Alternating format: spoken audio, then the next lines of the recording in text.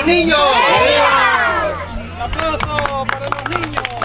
El Parque de los Niños es el nombre que ahora recibe esta obra y espacio de recreación, ubicada en el municipio de San Carlos, en donde la alcaldía sandinista realizó una transformación total a fin de que los niños puedan gozar de mejores condiciones para una diversión sana. Darle un ambiente que nosotros no teníamos a nuestros niños, a nuestras niñas, a la juventud también, ¿no? Porque recordad que los, los jóvenes igual no tenían un lugar donde ir tenemos wifi gratis, la juventud va a tener mejores condiciones, vos puedes ver, están las, están las bancas, hay mejores condiciones incluso de tranquilidad en el ambiente. El diseño fue inspirado en el concepto de la fortaleza de la Inmaculada Concepción. Sus características permiten que los niños y familiares puedan aprovechar mejor el espacio y disfrutar de nuevos juegos. Yo opino que están bonitos porque han hecho el bonito para nosotros, para que pasemos bien y no nos aburramos en nuestros hogares, pasemos jugando con nuestros amigos. Me gusta por el castillo y los juegos nuevos que han hecho, todas las cosas. Ha tomado mucho interés, más que todo en los niños, en los jóvenes,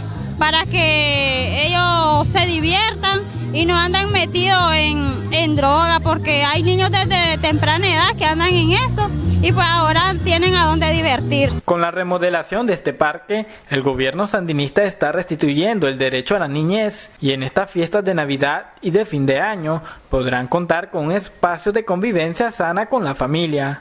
Con imágenes de Carlos Bravo, Multinoticia Rolando Pérez.